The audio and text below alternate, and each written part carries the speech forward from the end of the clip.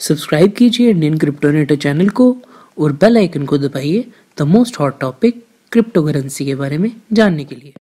Hello cryptonators. आज हम बात करने वाले हैं बीटीसी के बारे में। हमें क्या लगता है बीटीसी कहाँ जाने वाला है? क्या हो सकता है बीटीसी का? आज हम उस बारे में बात करेंगे। और क्या, कैसे हमें पता चल सकता था कि कल बीटीसी बेरिश है? अगर आप मुझे फॉलो पुराने फॉलो करते हैं तो आपको शायद शायद ये पता ही होगा कि कल बीटीसी बेरिश था। और अगर आप नहीं करते हैं तो आपको कर लेना चाहिए, क्योंकि इसी तरीके से मैं टी टेक्निकल एनालिसिस और कॉइन्स की वीडियो लाता रहता हूँ क्रिप्टो करेंसी की। तो चैनल को सब्सक्राइब करना और टेलीग्राम चैनल को ज्वाइन करना बिल्कुल भी ना भूलिएगा। लिंक आपको टेलीग्राम चैनल का डिस्क्रिप्शन में मिल जाएगा। दोस्तों, मेरा नाम है अमरप्रीत सिंह। आप देख रहे हैं Indian cryptonator let's get in the video दोस्तों, यहाँ पे देख सकते हैं मैंने एक रिट्रेसमेंट फिबोनाची रिट्रेसमेंट लगाया है नीचे से ऊपर की तरफ़। तो यहाँ पे आप देख सकते हैं जो यहाँ से ये वाला एक पंप आया था, उसके अंदर 1100 गया था, लेकिन जो अगला पंप आया था वो बिल्कुल आपको 618 के ऊपर जो 618 का फिब रेंज होता है फिब लेवल होता है वहाँ से आपको डंप देखने को मिला। ये चीज़ मैंने अपने पहले भी किसी वीडियो में बताई हुई है कि हमें मतलब जब भी पंप आता है तो हमें जो रिट्रेसमेंट वापस देखने को मिलती है रिट्रेसमेंट नहीं कहूँगा जो रिवर्सल वापस देखने को मिलता है अगली आ, अगले पंप में तो वो हमें सिक्स वन एट पे देखने को मिलता है। तो ये चीज़ मैंने पहले भी अपने इसी चैनल में बताई हुई है तो वही ना आप फॉलो करेंगे तो बात है। सब्सक्राइब करेंगे चैनल को तो बात है। तो यही बोलता हूँ कि मैं सब्सक्राइब कर लीजिए चैनल को ताकि आपको लेटेस्ट अपडेट सबसे पहले देखने को मिल सके। तो यहाँ पे भी आप देख सकते हैं सिक्स वन एट रेंज बिल्कुल एक क्रिटिकल रही है और बिल्कुल उसको टच करने के बाद नीचे आया। ये मैंने अभी तक आपको दो पंप्स के बारे में बता दिया। एक बताया है, अपना सिक्सटी फाइव हंड्रेड से लेके सीधा टेन थाउज़ेंड तक जब आपको थाउज़ेंड डॉलर की कैंडल देखने को मिली थी। फिर बताया है मैंने अपना जो हेड एंड शोल्डर्स मैंने बनाया था, उसके बाद पंप आया था एट्टी फोर हंड्रेड तक उसका। तो ये दो पंप्स के बारे में बात की, अब हम करेंगे तीसरे और चौथे लास्ट तीसरे और चौथे पंप की, जो कि एक कल हुआ और एक कुछ दो हफ़्ते पहले ही ख़त्म हुआ था। तो अब उन, इन दोनों की बात करें तो आपको मैंने यहाँ पे पिछले वाली अपने लाइव सेशन में बताया था तो आप लाइव सेशन भी देखा कीजिए। तो यहाँ पे आप देख सकते हैं, अगर मैं यहाँ से फिब रेंज लगाऊँ तो आपको यहाँ पे 61.8 का बिल्कुल एक रेजिस्टेंस देखने को मिलेगा, जहाँ से वापस हमें डंप देखने को मिला। बट यहाँ पे अब इस बार थोड़ा सा ट्विस्ट आया है। अगर मैं आपको बताऊँ, इस बार क्या ट्विस्ट आया तो आपको पता लगेगा कि क्या यहाँ पे आपको उल्टा कुछ करने की ज़रूरत पड़नी थी। आप यहाँ पे मैंने देखा कि मैंने 5800 जो कि लो लोअर लो था अपना जून के आसपास का जब हेड एंड शोल्डर्स बना था सिक्सटी वन हंड्रेड पे, वहाँ से मैंने फिब लेवल नीचे से खींच के ऊपर तक लेके गया हूँ। फिब लेवल लगती है नीचे से ऊपर तक या ऊपर से नीचे तक? वो क्यों लगती है नीचे से ऊपर तक? इसीलिए लगती है कि हमें देखना होता है कि जो हमारा पंप हुआ है, वो कितना ज़्यादा नीचे तक आ सकता है। मतलब अगर वेव्स के बारे में बात की जाए तो हम ये ऐसे, इस तरीके से देख सकते हैं कि जैसे एलियट वेव खोली एलियट वेव खोली तो यहाँ से आप देख सकते हैं कि ऐसे किया ऐसे किया। उसके बाद यहाँ पे देखा कि यहाँ पे यहाँ तक गया, फिर यहाँ गया, फिर इस तरीके से फिफ्थ फिफ्थ वेव फिर यहाँ से देखेंगे आप सिक्सटी 68 पे थोड़ा सा वो किया फिर उसके बाद डंप आ गया था क्योंकि ए वाला कुछ सीन हो गया था। बट अगर नॉर्मली बात की जाए तो यहाँ पे आके अगर बुलिश मार्केट हो तो यहाँ पे आके हम यहाँ पे 61.8 और 550.00 के आसपास के बीच में हम अपने बाय ऑर्डर्स लगा सकते हैं। फिर वो इधर जाता है और इधर से वापस नई रैली निकलती है। फिर उसकी जो एलिट वेव बनती है, वो कुछ इस तरीके से बनती है। ये वन ये टू फिर यहाँ से तीसरी, फिर फिर आगे चौथी और पाँचवीं। जब ऐसे करके बनती है, वन, टू, यहीं कहीं बीच में, और थ्री, फिर ऐसे बनती है, जो कि थ्री हमेशा बड़ी होती है, वन से, वन और फोर और फाइव आगे ऊपर। तो जो फाइव इनमें बनती है, फिर इनके बीच में भी बनती हैं इस तरीके से। One, two, three, four, five. तो वो ही सीन हो जाता है, इसी तरीके से एलियट वेव बना सकते हैं। तो फिबनाची और एलियट वेव काफ़ी मतलब काफ़ी अच्छा माना जाता है कंसेप्ट तो ये एक तरीका होता है। बट यहाँ पे अगर हम देखें, हमने कि कितना ज़्यादा डंप होगा, हम यहाँ पे देख रहे हैं कि कितना ज़्यादा डंप होगा। थोड़ा सा ये एक फिबनाची का भी आपको एक ट्यूटोरियल सा मिल जाएगा। हम यहाँ पे देख रहे हैं कि कितना ज़्यादा डंप होगा। हम यहाँ पे प्रेडिक्ट करने की या फिर कोशिश कर रहे हैं कि कितना ज़्यादा डंप होगा। बट अगर यहाँ से हम देखें तो अगर यहाँ से हम देखें, हम अगर फिबनाची रेंज यहाँ से लगाएँ, बिल्कुल इधर तक हम यहाँ पे देखने को मिलेगा कि सिक्स वन एट तो टच किया ही नहीं। सिक्स वन एट तो यहाँ पे है। अगर मैं इसको चेंज करूँ पकड़ जा, पकड़ ले हाँ। अगर मैं इसको यहाँ पे लेके आऊँ तो आपको देखिए कि सिक्स वन एट तो यहाँ पे है। तो भाई अमर तो गलत है, यहाँ पे तो बिल्कुल मतलब सिक्स वन एट तक गया ही नहीं, अब क्या करना है? लेकिन, जैसा कि मैंने आपको कहा कि फिबोनाची नीचे से ऊपर लगती है तो ऊपर से भी नीचे लग सकती है। ऊपर से नीचे क्यों लगती है? आपने ये वाला डंप देखा, जो ये वाला डंप आया था, एक दिन में मतलब कुछ, दो दिनों में कुछ बहुत ज़्यादा नीचे गिर उसके अंदर आपने देखा था कि अब हमें यहाँ पे लगेगा। उसके अंदर आपने देखा था, एक सेकेंड मेरे को सेट करने दो इसको। हाँ उसके अंदर आपने यहाँ पे देखा था आपने कि एक, एकदम आपको डंप देखने को मिला। तो हम यहाँ पे देख सकते हैं कि अब वापस यहाँ से जो रिट्रेस होगा रिट्रेस मतलब ये नहीं होता कि रिट्रेस ऊपर जाएगा ऊपर जाएगा या नीचे जाएगा। रिट्रेस होता है आपका जब अगर आपका मतलब पंप चल रहा है तो वो कितना डंप होगा, आप उसको प्रेडिक्ट करने की कोशिश करते हैं। और अगर आपका डंप चल रहा है वो कितना पंप होगा, आप उस चीज़ को प्रेडिक्ट करने की कोशिश करते हैं। तो यहाँ पे भी वही हुआ है, हम यहाँ पे एकदम डंप हुआ। मैं यहाँ पे अगर रिवर्सल हुआ, हम देख सकते थे कि कितना पंप हो सकता है। और एक बार ये डंप होने के बाद जब पंप हुआ तो वो आप देख सकते हैं, बिल्कुल 61.8 61.8 ये देखिए। यहाँ पे आपको देखने को मिला कि 61.8 पे डंप हो और यहाँ पे होवर करना शुरू हो गया। तो ये वन डे का था, एक नॉर्मल सी चीज़ थी फिब लेवल के ऊपर सपोर्ट एंड रेजिस्टेंस ये मैंने आपको पूरा इतना टाइम इसीलिए लिया समझाने के लिए ताकि आपको कुछ थोड़ा सा आइडिया मिल जाए फिबोनाची का। तो ये थी एक चीज़ फिबोनाची रिट्रेसमेंट के बारे में मैंने आपको थोड़ा सा बताया। अब बात करते हैं आगे जाके क्या हमें देखने को मिलता है। तो दोस्तों, मैं आपको बता दूँ, अगर सिंपली बोलूँ तो अगर कभी भी कभी भी एक मतलब ऐसे रेंज ही बनी हुई है, एक बहुत बड़ा डंप हुआ है, ये रेंज बनी हुई है, ठीक है? एक बहुत बड़ा डंप हुआ, हमें यहाँ से ऐसे डंप देखने को मिला, जो कि बिल्कुल इस लेवल तक था।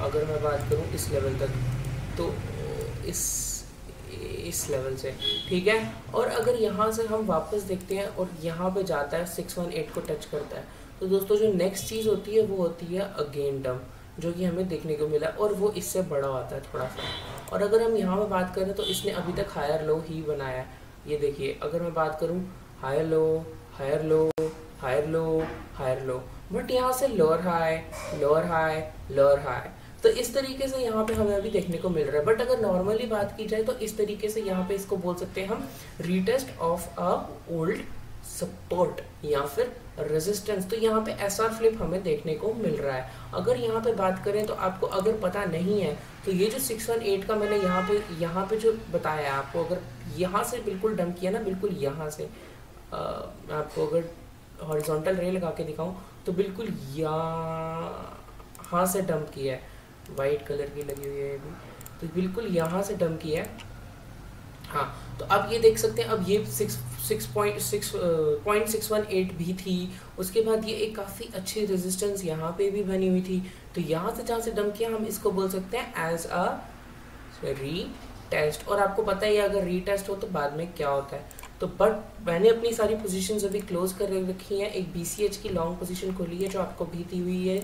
मैंने और कोई भी तरीके की, किसी भी तरीके की पोजीशन नहीं है। तो हम यहाँ पे देखें, आगे हमें इस समय तो लग, ये सिंपल और सिंपल प्राइस एक्शन के ऊपर मैं बात कर रहा हूँ। आगे हम देखें तो यहाँ पे हमें लग रहा है कि BTC अभी और गिर सकता है।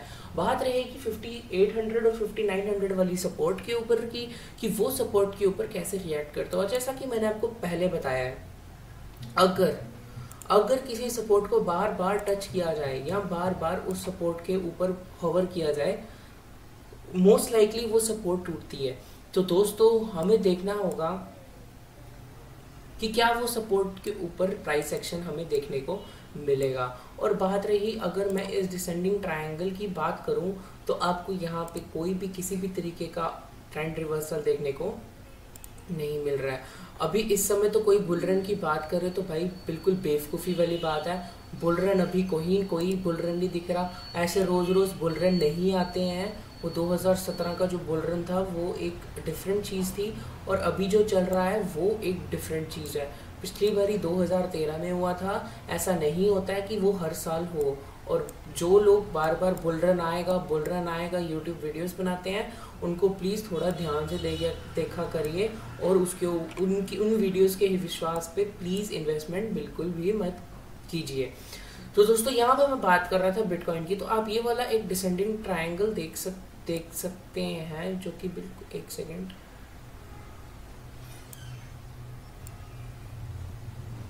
जो कि बिल्कुल इस तरीके से हमें देखने को मिल, जो कि बिल्कुल इस तरीके से हमें देखने को मिल रहा है।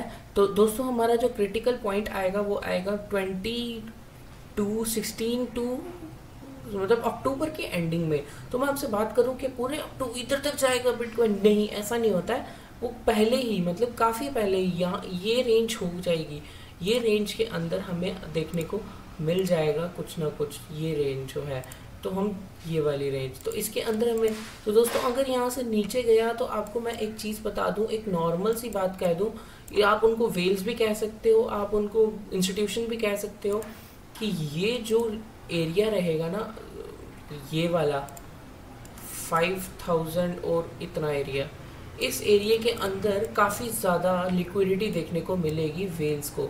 क्योंकि सेलिंग पावर काफ़ी ज़्यादा रहेगी। तो यहाँ पे एक्यूमुलेशन काफ़ी ज़्यादा हो सकती है इस रीजन में। तो हो सकता है कि इंस्टीट्यूशन चाहे कि यहाँ पे डंप हो और यहाँ से फिर वापस बाद में वो पंप करें।